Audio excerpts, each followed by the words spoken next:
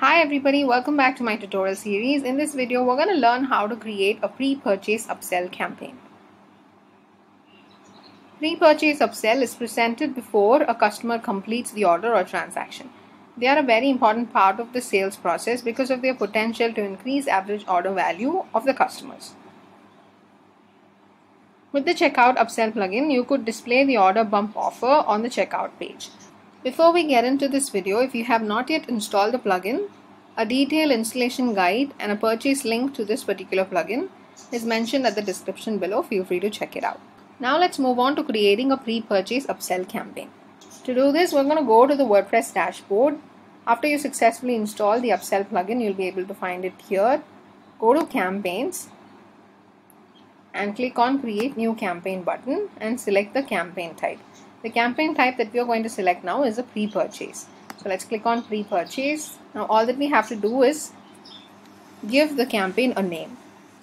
After we have given the campaign a name, we can start adding the upsell offers. We're going to display CAP as an upsell product for 50% off when customers have products from t-shirt category on their cart. Alright. To do this, we're going to go click on add offer and here we get to choose the offer product. The offer product is cap, isn't it? So let's enter cap here. Select it and then comes the quantity. By default, this is empty, meaning customers can buy whatever quantity of this cap they want for an offer price. But if you set some quantity here, it means only that particular quantity customer will be able to buy. I'm going to leave it to empty Next comes the discount type and the discount value. As said, we're going to offer 50% off on this cap. This is the upsell offer. So let me click on percentage as the discount type. You also have other discount types that you can make use of according to your requirement. But let me go for percentage discount 50. Here's the discount value. That's it. On the right, you can view the offer preview. This is what the order bump looks like on the checkout. Next comes the usage limit. Here you can set overall usage limit or you could also limit this particular offer per customer. By default, you can notice both of these usage limits are unlimited, meaning customers can use it n number of times. But when you set an overall usage limit, it means that if you set 2 here, it means the offer can only be claimed twice. Same customer purchasing it twice or two different customers.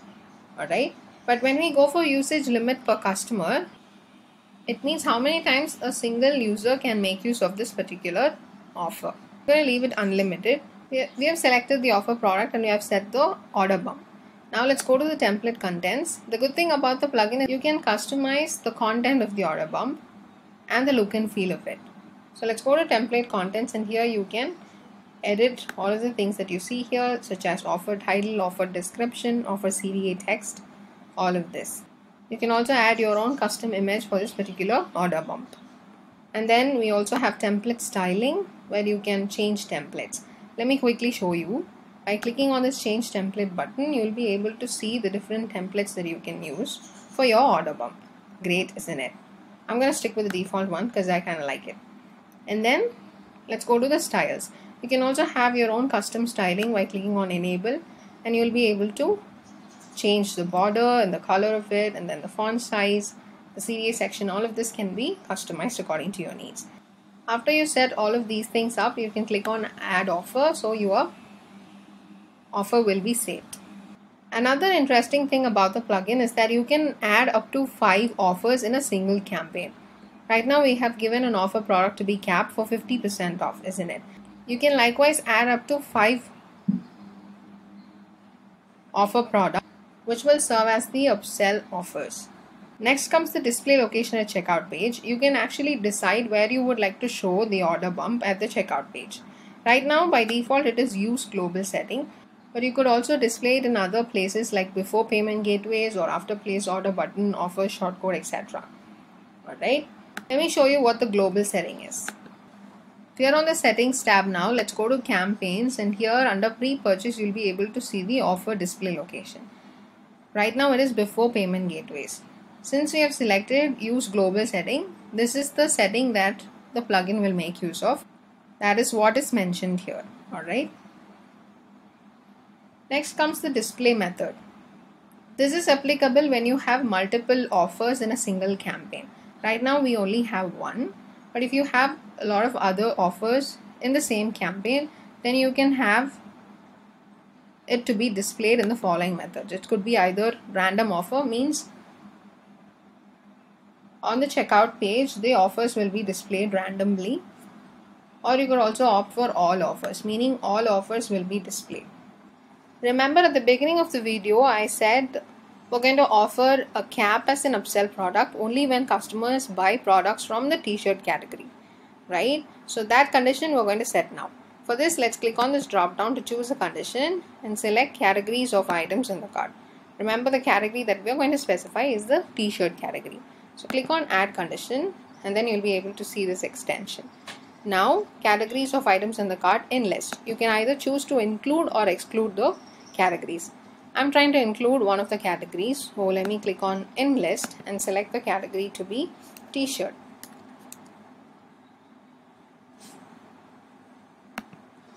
Nice.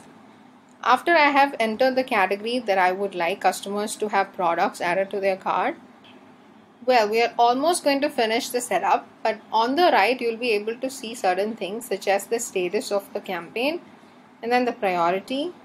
This is when you have multiple campaigns on your store running. And then you can also notice that you can schedule the campaign. You can have a starting date and end date. You can also set an expiry date for this particular pre-purchase campaign. If you want to schedule this pre-purchase upsell for the future, then you can also do it. Nice. After we have done all the necessary settings, we'll have to click on save and close before we get ready to test this campaign. That's all, campaign is saved successfully. You'll be able to see that the status of this campaign is right now active. Let's move forward to the testing. To test this, I'm going to take you to the storefront. Remember now, only if customers have products from the t-shirt category, they'll be able to see this upsell offer. So let's go to the t-shirt category first. I'm taking you to the category page, t-shirts category page. And here I can buy any of this product. Let me add this polo t-shirt to the cart. Moving to the checkout. Since the condition is satisfied, which means I have added a product from the t-shirt category to my cart, you'll be able to notice the order bump here. Nice. As you can see, the upsell offer in this scenario is a complementary product to the t-shirt category, which is a cap. But you could also have just any other product which simply adds value to this order. Now with just one click, the upsell product gets added to the original order. That is all. This is how customers benefit from the pre-purchase upsell offer. And this is a great way to increase your sales plus your average order value. Thank you so much for watching.